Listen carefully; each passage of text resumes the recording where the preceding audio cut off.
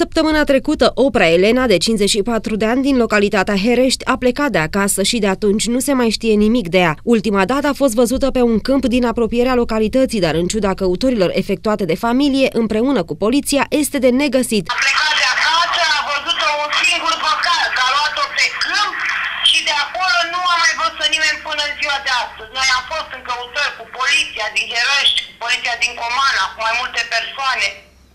Nu e și acum tot în căutare a fost, acum am venit iar acasă, că nu mai avem unde să mergem.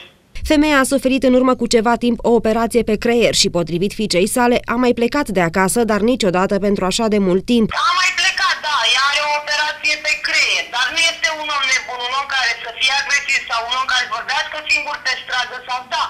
A mai plecat, dar nu s-a întâmplat niciodată să lipsească mai mult de, să zic, 20 de ore, cel mult 20 de ore.